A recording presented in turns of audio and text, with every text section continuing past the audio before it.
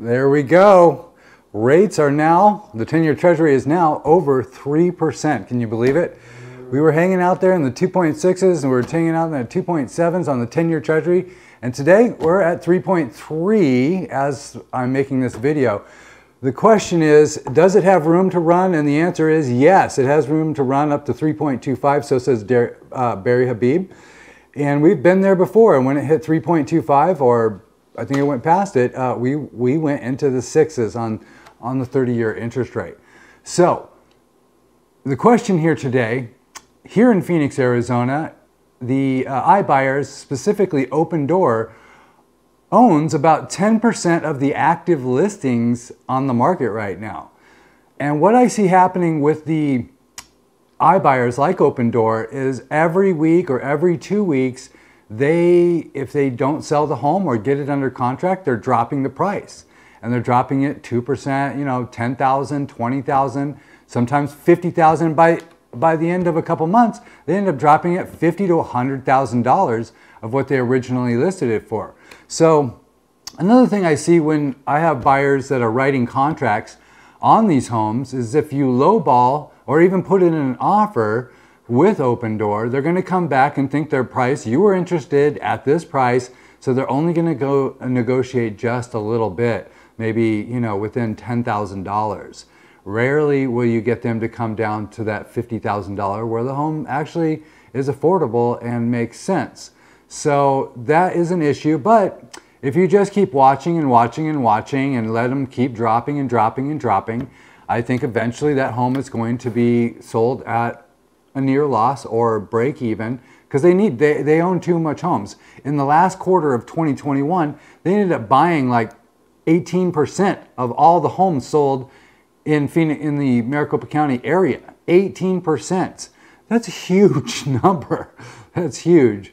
So, do you think that if interest rates go back up to you know high fives, low sixes, that um, we're, we're not going to see more inventory come to market, or we're going to see less inventory come to market, or do you think that prices will continue to come down, or are prices even coming down?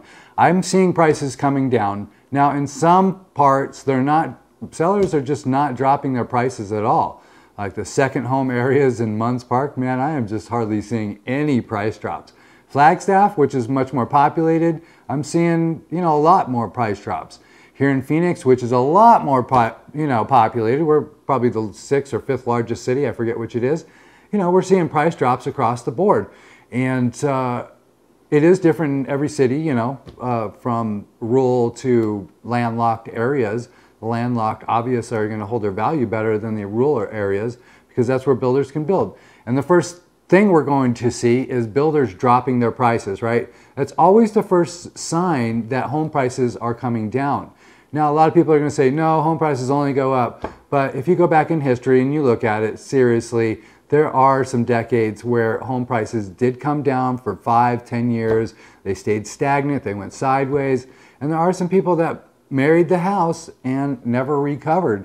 Even to this day, I just posted on my Facebook, uh, you know, uh, a property owner that rented it out for uh, just stupid low price, under $2,000 for like 15 years and is only selling the home for 60,000 above what they originally paid for it in 2007.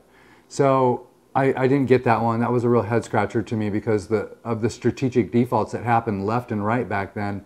It was, you know, bountiful, if that's, you know, if you want to, for lack of better words. So here we are, over 3% on the 10 year Treasury again. And that probably means that uh, the feds are trying to sell off some of the mortgage backed securities. If they fully did what they said they were going to do and sell off 17 billion a month, rates would be in the sixes and sevens and stay there and maybe get up closer to 10. So what do you think is going to happen if we see 6% interest rates again? I want to I want to get your reactions in the comments below. Would you be buying a house right now? Is right now a good time to buy? Do you think home prices are going to continue to go up like the experts say? Or do you think they're going to come down here in the Phoenix, Arizona uh, market like we kind of seen them do? so, and I'm talking from the peak, like the March or April uh, peak of housing, which is where I feel the peak of pricing was and I think it's been coming down since. Do you think we have more to run, or do you think that this is it? This is the lowest you're going to see, and uh, you should buy now and marry the house. Just date the rate. yeah, I appreciate you watching, and uh, please leave a comment, subscribe, and uh, until next time,